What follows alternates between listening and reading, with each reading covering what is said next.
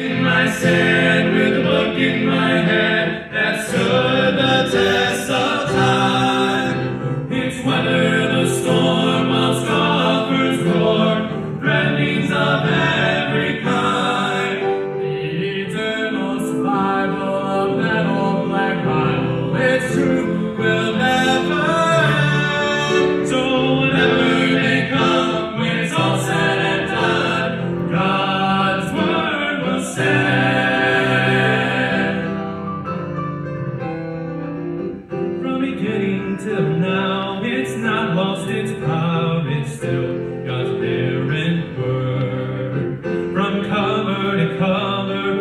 still the bestseller of any book in the world. Written down in those pages are the answers for the nations and the truth to God.